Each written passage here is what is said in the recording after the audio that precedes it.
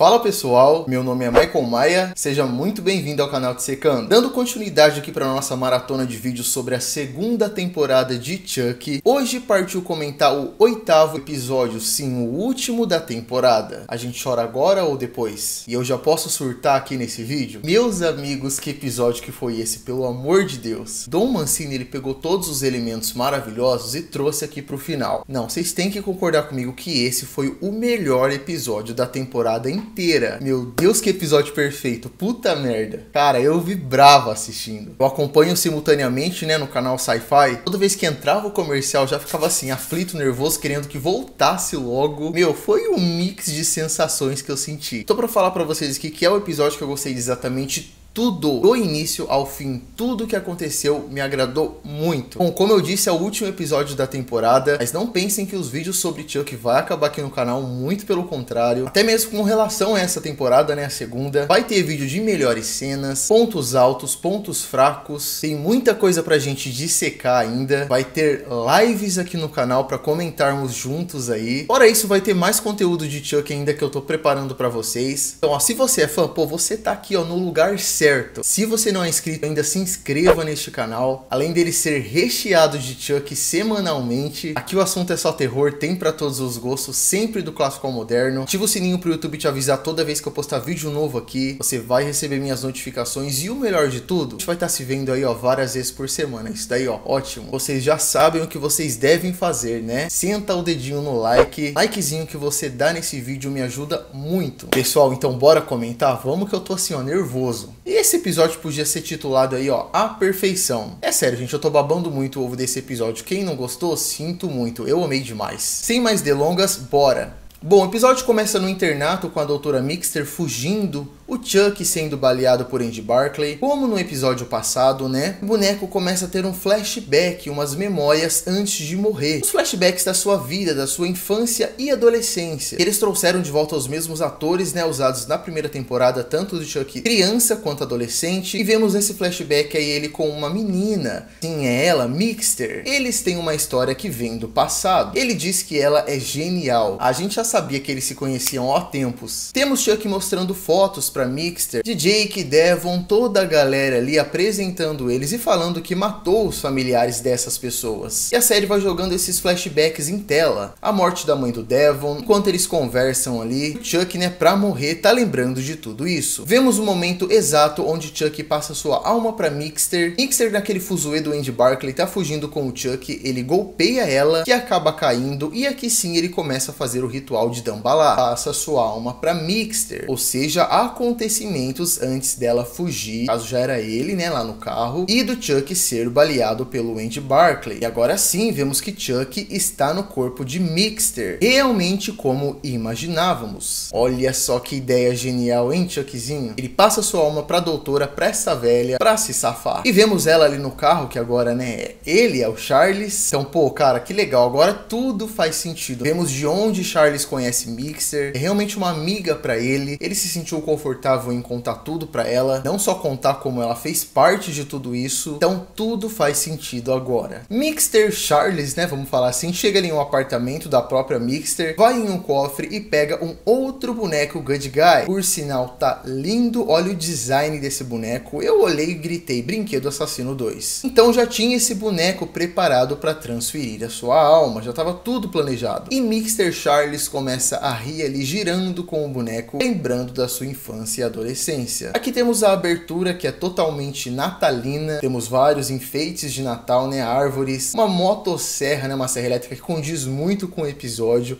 Eu amei essa abertura, tá linda. Na verdade, eu amei o episódio em si só por ser de Natal. Tudo que é de Natal ganha meu coração. É dezembro, dia 22, quase Natal. Temos Lex dando um depoimento ali em uma roda de pessoas, um grupo de reabilitação para jovens sei que está ali com ela. Pausa para admirarmos a beleza de Lexi. Puta que pariu. Que linda que ela tá, gente. E ela quase quase fala de Chuck, mas acaba acusando sua mãe, ao invés né, de acusar Chuck. Afinal, Quem acreditaria? Vemos Hackensack toda enfeitada para o Natal, eu amei demais. Nunca tivemos nada tão natalino assim em Chuck. Meio clima, meia trilha sonora. Ela e Jake vão para casa de Lexi. Vemos Caroline ali com a boneca Belle. Vemos a Michelle, né, a mãe da Lexi ali decorando a árvore de Natal. Ela recebe Jake, Lexi. A Lexi pergunta se o Jake pode ficar alguns dias ali. Então Devon desce do andar de cima fazendo uma surpresa. Assim, na verdade, os dois vão ficar ali um tempo tempo. Evan dá um presente pro Jake. Como o Jake não tem presente, ele vai sair para comprar um já que ganhou do Devon e ficou incomodado por não ter um para dar para ele. Vemos um noticiário falando sobre a Mixter, a Caroline tá assistindo. E ali é falado que foi encontrado, né, o seu corpo no seu próprio apartamento que morreu por causas naturais. E fecharam a escola católica sem dar nenhum comentário. Olha, eu adorei toda a trama no internato católico. Na verdade, a série inteira foi se passada lá. Mas, gente, sinceramente, que delícia saber que fechou. Muito bom ver eles longe de lá em outros ambientes, ambientes claros, né? Lá era tudo muito escuro e gente com vida, né, gente? Amei que eles vazaram de lá. Então, assim, para mim meio que já tinha saturado tudo aquilo, sabe? Vemos Glenn da pura perfeição levando flores ao quarto de Glenn, afinal ele foi baleado, não morreu. Mas, meus amigos, a notícia não é boa. Glenn está em estado de coma. Ela entra, vemos Glenn ali internado, né, tadinho? Que dozinha, meu Deus do céu. Isso daí cortou meu coração. E ele está ali em coma, como eu disse disse muito mal pelo que parece. A Glenda recebe uma ligação de Tiffany que pergunta como ele tá e Glenda diz que ele não tá bem, que ela não pode perder Glenn, que se ele morrer, ela morre junto. Eles conversam ali, Glenda ainda fala sobre passar a alma de Glenn pro boneco para sobreviver, alma que já surtaremos sobre isso. E Tiffany fala que não pode ir no hospital por causa da polícia, né? Ela tá sendo procurada, a Jennifer Tilly está sendo procurada. Após isso, vemos Chuck olhando uma revista e ele vê o anúncio de uma motosserra e ele vai vai comprar, gente. Ele mostra até um cartão ali, ó. No cartão de crédito tá gravado Chuck. Meu Deus do céu, que belezinha. Cara, até aqui, episódio maravilhoso. Eu tava amando tudo, sequência por sequência. Como foi que Chuck passou a sua alma para Mixter? Voltamos para casa de Lex, eles saíram do internato. Amei demais que é um episódio natalino. Então assim, perfeição demais para mim. É dezembro, dia 23, vemos Michelle ali fazendo stories ou uma live mostrando sua decoração de Natal na área externa e ela mostra até a boneca Belle que ela usou de decoração como o menino Jesus. Pausa porque esta filmagem aqui da Michelle vai ser muito importante depois. Vemos mais uma vez Glenda indo visitar Glenn, ela despista um segurança, né, um policial que está ali, entra na sala onde Glenn está com uma mala. Aqui eu confesso para vocês que eu já estava sentindo que a magia ia acontecer. Vemos Tiffany disfarçada de enfermeira, meu Deus do céu, eu tô amando demais esse episódio. Ela se disfarçou de enfermeira para ir ver o Glenn, já que Jennifer Tilly está sendo procurada pela polícia, né? Ela entra na sala, fica até emocionada. Aqui até eu fiquei emocionado, né? Glenda então abre uma mala e o que tem dentro dela o boneco Glenn e o livro Voodoo para bonecos. Meu Deus do céu, tô com vontade de dar um pulo aqui. Cara, no meu vídeo passado de teorias, né, sobre esse episódio que a gente tá comentando agora, eu cheguei a dar essa teoria, falei que era loucura da minha cabeça, mas pensei, pô, imagina que legal se para salvar o Glenn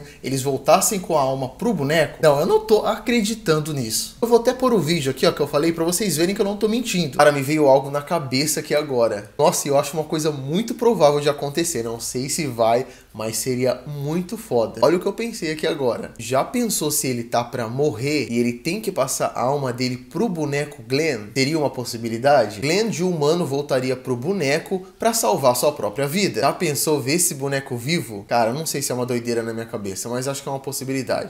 Mano, eu tô em choque que isso vai acontecer. Eu falo que eu não gosto do filme, né, de O Filho de Chuck. Ou nessa altura do campeonato, já tô até gostando. Mas assim, não tem como não se apaixonar por Glenn, por Glenda. Cara, o boneco é muito icônico. E eu imaginava, cara, ver esse boneco vivo de novo vai ser assim, um supra-sumo. Mas enfim, vamos voltar. Eles vão fazer o ritual, mas entra um guarda na hora. Ele reconhece a Tiffany porque tá sendo procurada pela polícia. Mas a Tiffany quebra um vaso na cabeça do cara. E fica ali desacordado. E a Glenda, meus amigos, ela sente a necessidade do que? De matar o cara. E ela, Glenda, sem pensar duas vezes, liga aquela máquina de dar choque em coração, sabe? Potente pra caralho, esqueci o nome daquilo. E Glenda mata o cara com isso no peito. Gente, a cabeça do cara começa a pegar fogo. E o melhor de tudo, Glenda fez isso por prazer. E Tiffany sente prazer em ver Glenda matando o cara. Meu Deus do céu, Glenda assassina a raiz. Como eu tava querendo isso já faz tempo. Não tô acreditando que só no último episódio essa personalidade assassina da Glenda aparece. Meu Deus, que perfeição, gente. Como eu queria mais disso, mais e mais. Como que o Dom Mancini me deixa isso só pro final? Não, aqui já dá pra ter um gostinho, né, de Glenda e Tiffany juntas. Não, cara, eu amei demais. E o pior que foi só isso, né? Mas enfim, já foi o suficiente para dar aquela coisinha aqui. Enfim, eles fazem um ritual de Dambalá. Uma enfermeira entra no quarto e vê os corpos de Glenn e Glenda deitados ali, mortos, né, na cama. E o cara, o policial, também morto no chão. Gente, as duas almas foram pro boneco. Sim, Glenn e Glenda estão de volta no boneco. Depois de anos, meu Deus do céu, vou morrer. Ao mesmo tempo que eu fico feliz por isso, que é muito legal ver o boneco vivo de novo, eu fico triste porque acabou Glenn e Glenda como humanos. Tava amando a atuação de Lachlan Watson. Enfim, né? Então, assim, o início de uma nova era. Ou seria o retorno de uma era. Vemos Tiffany vendo a boneca Belle ali na live de Michelle. Lembra que eu falei que seria importante essa transmissão que ela tava fazendo? E ela fala, né? Meu Deus, eu preciso dela para passar minha alma. E vemos o que, gente? Tiffany maquiando o Glenn boneco. Aqui já vivo. Eu tô surtando demais. Olha esse boneco vivo, gente. E agora o seu nome é Didi. Ele fala, né? Me chame de Didi. Cara, eu não tô acreditando nisso. Olha que perfeição. Calma que eu tô nervoso demais. Olha o design desse boneco. Olha como ele tá idêntico ao boneco de O Filho de Chuck. Gente, tá a mesma coisa. Eles pegaram assim uma réplica perfeita e olha os detalhes da roupa, da maquiagem, do cabelo, gente. Reparar ali na jaqueta tem um brochezinho escrito Daytime. Condiz muito com a personalidade do boneco, né? Então assim, tá perfeito demais. Não tem do que falar mal. Obrigado por isso, Dom Mancini. Eles conversam ali Tiffany e Glenn, que agora é Didi. Ele diz que quer ir para Inglaterra explorar suas raízes e Tiffany aceita, né, que ele se vá do país fazer fazer o que? 24 de dezembro, estamos na casa de Lexi. Jake chega com um presente pro Devon, um kit completo de gravação pro Devon retomar o seu podcast. Vemos a ceia durante a noite, estão todos juntos, Michelle, Lexi, Caroline, Devon e Jake, eles fazem ali a ceia deles. Temos pegadas de Good Guy ali na neve em direção à casa da Lexi. Hum, vai dar merda. Eles estão no quarto de Lexi prontos para dormir todos juntos. Eles falam de Chuck, né, que ele ele está morto, tadinhos, alguém avisa eles. Devon e Jake conversam e acaba rolando um beijinho, aquele beijinho gostoso, sabe? E gente, aqui eu fiquei emocionado nessa cena, confesso. Com a trilha sonora que toca no fundo, é fofos demais. Então, na lareira da casa da Alex, vemos o que? Chuck surgindo ali com uma motosserra, exatamente aquela que ele comprou vendo a revista. Ou seja, Chuck retornou. Vemos a Caroline dormindo com a Belle e Chuck comendo cookies com um gorro de Papai Noel, lendo a carta que Caroline deixou pro Papai Noel. Quem chega ali, ela mesma, nossa rainha Tiffany Valentine, ela quer a boneca Belle. Ela vai tentar entrar na casa para pegar a boneca. Pausa rapidinho aqui pra gente comentar a beleza de Jennifer Tilly. Eu não dou conta mulherzinha da minha vida, viu? E ela entra na casa da Michelle, fica procurando pela boneca e vemos o Chuck andando ali, né, com a motosserra. A Michelle desce porque escutou um barulho e dá de cara com a Tiffany, que no caso, né, para ela é Jennifer Tilly. Elas começam a conversar sobre sua vida. Isso é apenas uma distração para que Chuck mate Michelle. Gente, que morte simplesmente foda. Ele pula atrás dela, a partindo no meio com a motosserra. Meu Deus do céu, sensacional. Eu não imaginaria que a Michelle morreria assim tão brutalmente. Vemos Chuck todo ensanguentado com o gorro ali de Papai Noel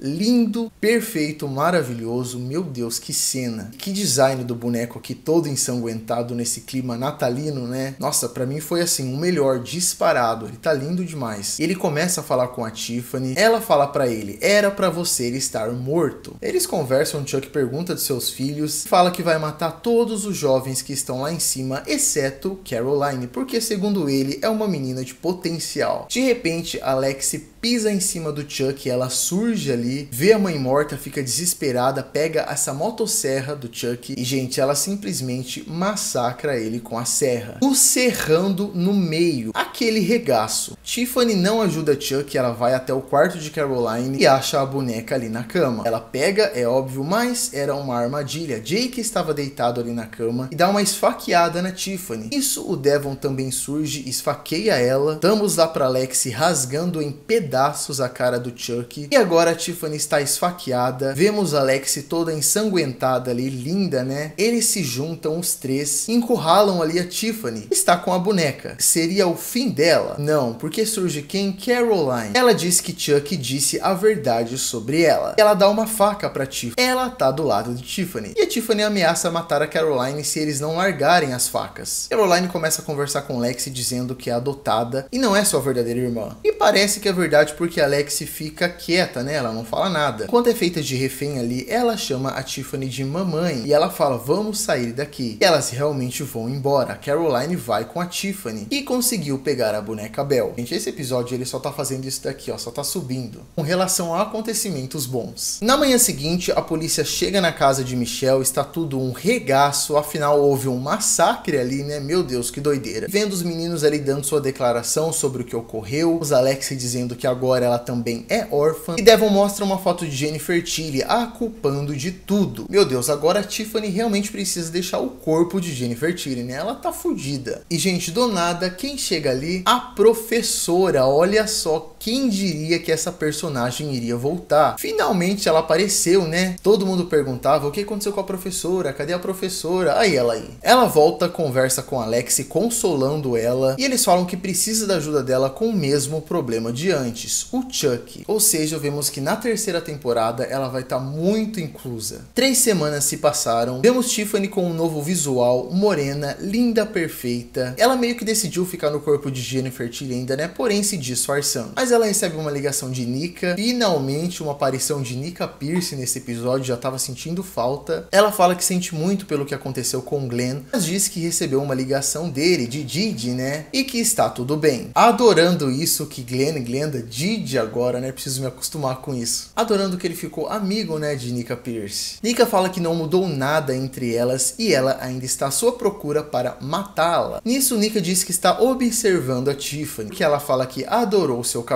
novo. Perfeita, gente, entregando atuação como sempre, rainha da cena. E ela está no prédio à frente de onde Tiffany está. Aqui Tiffany fica desesperada e pensa, preciso vazar realmente desse corpo de uma vez por todas. Então ela começa a fazer o ritual de Dambalá para passar a sua alma para Bel. E gente, uma referência clara à noiva de Chuck. A mesma coisa, ela coloca velas, a boneca ali no centro, o livro, né, voodoo para bonecos, tudo referência à noiva de Chuck. Ela começa a fazer o ritual e fala, né, acorda e começa a bater na boneca como se não tivesse funcionado. Olha que referência maravilhosa, parece que eu tô assistindo a noiva de Chuck. E realmente a boneca acorda. Porém, a boneca começa a tirar as lentes de contato e vemos que na verdade esta boneca Bell é o Chuck disfarçado. Sim, todo este tempo, desde o primeiro episódio, era um Chuck disfarçado. E faz todo sentido vendo que essa boneca Bell ela veio da doutora Mixter, foi ela que deu para Caroline. Então faz todo sentido ser um Chuck disfarçado. E aqui Chuck com vestido de noiva vai caminhando para esfaquear Tiffany. E aí, será que ele conseguiu? Será que Tiffany realmente está morta? O episódio se encerra como na temporada passada, exatamente igual. Temos o Chuck na lareira ali em clima de Natal cantando uma musiquinha sobre as vítimas que ele fez durante toda a temporada. Ele menciona tudo e diz que pretende ver a todos na próxima temporada. E aqui infelizmente, para a tristeza de todos, a temporada se encerra. Gente, vamos falar o que desse episódio final? Meu Deus do céu, eu tô assim, rendido. Mas assim, gente, é claro que a gente vai ter uma terceira temporada. Muitos ganchos ficaram aí, muita coisa sem resposta, muita coisa prestes a começar. Então, assim, terceira temporada vem aí muito.